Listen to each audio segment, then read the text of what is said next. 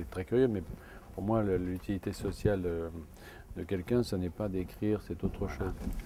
J'ai mis beaucoup de temps et je ne suis pas sûr d'y être parvenu d'ailleurs à accepter l'idée d'être écrivain. On garde toujours ça en soi, même si on fait autre chose. On, reste médecin, même si. Je pense que c'est pas uniquement un métier. Je pense que ça doit manquer quand on l'exerce Absolument. Ben, c'est le cas en ce moment. Pensez revenir à ça par quel biais? Ben Justement, c'est ça le problème. Ça le problème. Oui, voilà, parce que je ne peux pas le faire en France, ça, me bloquerait trop. Il faut arriver à rendre ça compatible avec tout ce qu'on fait d'autre, c'est pas évident. Parce que la médecine, vous mettez le doigt, puis ça vous bouffe. Absolument. Absolument. La médecine m'a donné un regard sur le monde, un regard sur les autres, sur l'humain, etc., qui, qui, qui ne m'a jamais quitté. Même que je fasse ou pas de la médecine au quotidien, ça ne change rien.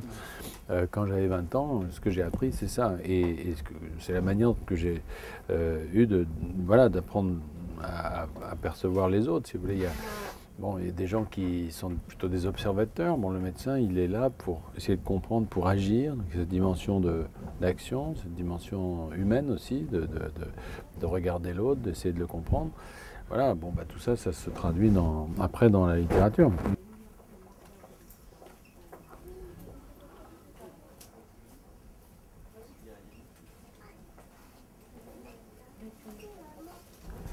Je reflète au fond euh, une image du monde extérieur, mais dans des formes qui sont des formes de la littérature classique. Voilà. Alors c'est bah, comme ça, j'y peux rien. C'est voilà, mon outil de travail, si je peux dire. C'est une forme d'expression classique. Moi, je, n'ai pas de prétention de faire évoluer le roman en termes formels. Je considère que euh, cet outil m'a été donné de toute manière. ma responsabilité comme un interprète, en quelque sorte, c'est d'utiliser le mieux possible. Mais le mieux possible pour décrire le monde, pour euh, rendre compte de ce que j'ai pu avoir comme expérience extérieure. Comment vous avez fait euh, entre le travail historique et l'écriture? Il faut tout oublier. En fait. Il faut avoir d'abord en, magazine et tout ça, puis après il faut le mettre de côté. Je lis, ensuite je passe 2-3 mois à faire autre chose. Tout ça c'est oublié. Alors je sais où trouver les informations quand j'en ai besoin, mais je ne suis pas envahi par elles. Comme disait Marguerite Yourcenar, il faut, il faut que un roman qui se situe dans l'histoire, il faut qu'il soit, euh, j'allais dire, euh, authentique au sens où tous les éléments historiques doivent être euh, justes, sinon les, gens ne sont pas en confiance. Parce que si tout d'un coup Jacques Coeur sort un, revolver ou un téléphone portable, ça ne va pas. Donc il faut vraiment rester dans, quelque chose de très, de très sûr en termes de, pour que le lecteur soit en confiance. Maintenant, quand on choisit des personnages, comme c'est le cas ici, euh, sur lesquels on a beaucoup d'incertitudes, parce qu'il y a énormément de choses qui manquent. On n'a pas de portrait de lui, on ne connaît pas sa date de naissance exacte. Il y a des tas de choses qui manquent. Donc dans ces trous, là en revanche, on est très libre. C'est-à-dire qu'on peut y mettre ce qu'on souhaite. Euh, et évidemment, ce qu'on souhaite, c'est en général, ça vient de, soi. C'est-à-dire que là, c'est là que s'établit euh, un lien direct avec l'auteur.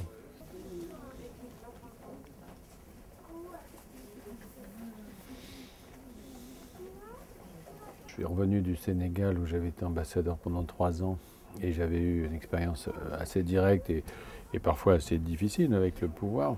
Et donc un personnage comme ça qui, s'est approché très près, j'allais dire, du pouvoir à son époque, qu'il a payé cher, puisqu'il a, payé presque de sa vie. Il a failli euh, condamné, il a été condamné à mort, voilà, il a tout perdu.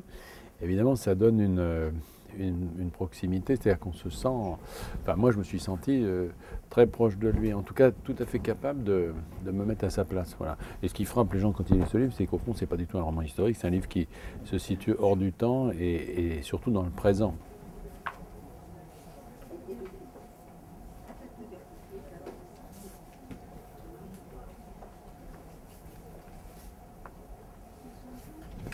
Il y a une ligne, euh, j'allais dire, qui qui puise son inspiration plutôt dans, l'histoire et dans de grandes fresques euh, comme ça, euh, très vivantes et tout. Mm.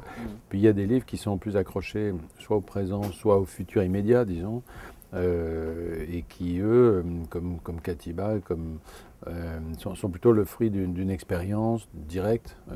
au Katiba, c'est quand j'étais ambassadeur, j'avais sous les yeux ce qui se passait dans le Sahara et j'ai créé ce, livre à ce moment-là. Celui-là, la, la, salamandre, c'était une, anecdote qu'on m'a rapportée quand j'étais en poste au Brésil. Enfin voilà. Donc il y, a vraiment ces deux lignes.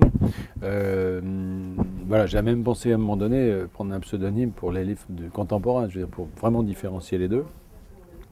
Voilà, alors je pense qu'évidemment c'est le même auteur, encore forcément il y a des liens, mais c'est quand même deux, deux- deux- deux séries assez identifiables.